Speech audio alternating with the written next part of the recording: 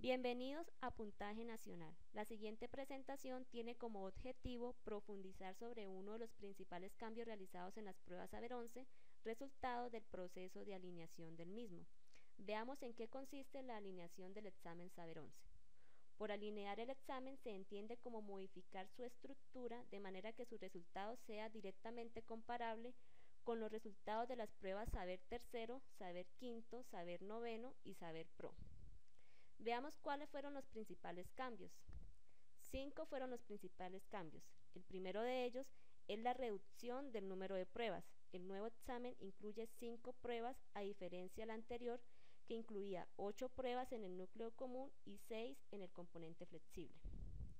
El siguiente cambio es el aumento del número de preguntas por prueba, aunque se mantienen las dos sesiones de aplicación y el tiempo máximo disponible para cada una. El siguiente cambio es la inclusión de preguntas abiertas de respuesta corta en las pruebas de lectura crítica, matemáticas, sociales y ciudadanas y ciencias naturales.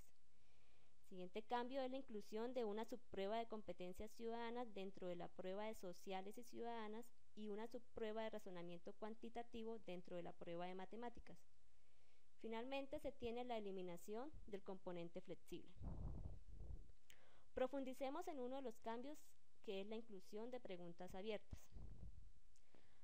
A partir de la aplicación del examen del 3 de agosto del 2014, habrá en total 8 preguntas abiertas de respuesta corta distribuidas así. En lectura crítica 2, en matemáticas 2, en sociales y ciudadanas 2 y en ciencias naturales 2. La calificación de las preguntas abiertas se integra con la calificación de las preguntas cerradas para obtener los resultados por prueba. ¿Para qué se utilizan las preguntas abiertas?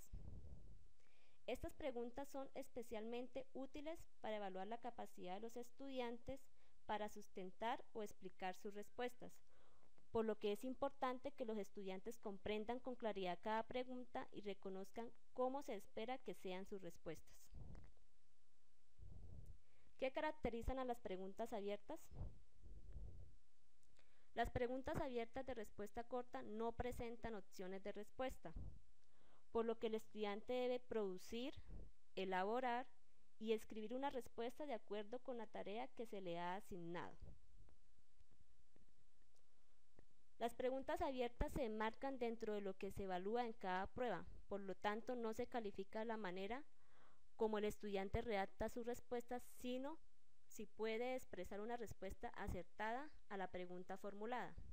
Por lo anterior, no se tienen en cuenta aspectos como ortografía, redacción o caligrafía, a menos que alguno de estos o todos impidan la lectura o interpretación de la idea que quiere expresar el estudiante.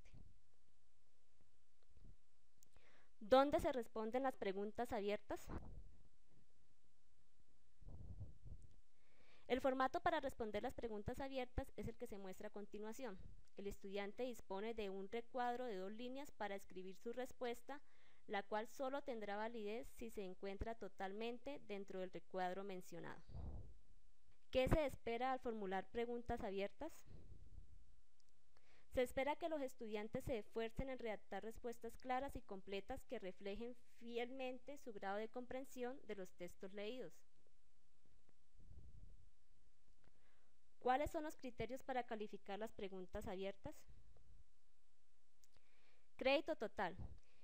Eh, el crédito total se da a la respuesta donde el estudiante ha presentado de manera completa y correcta a la pregunta. Crédito parcial al estudiante que respondió de manera parcial pero aceptable a la pregunta. Y sin crédito donde el estudiante respondió la pregunta de una manera que no es pertinente adecuada o correcta. ¿Cuál es el procedimiento para calificar las preguntas abiertas? El primer paso es seleccionar un equipo de calificadores expertos en el área específica.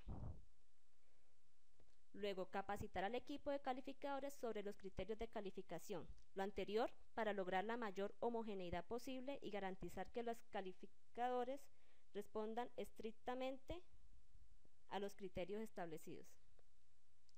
Y finalmente, calificar las respuestas de los estudiantes. Cada respuesta la califican dos expertos y en caso de presentarse discrepancias, se involucra un tercer calificador. Algunos ejemplos de preguntas abiertas en matemáticas son, veamos dos ejemplos.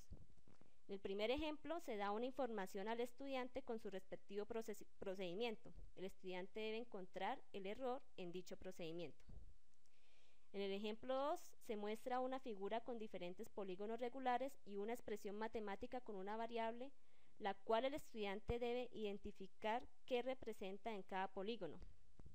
Más ejemplos como estos se encuentran en puntajenacional.co en la sección de matemáticas en, en materiales y guías. Recuerden que Puntaje Nacional es la comunidad de educación 100% gratuita de calidad más grande de Latinoamérica para la preparación de las pruebas de Estado Saber 11.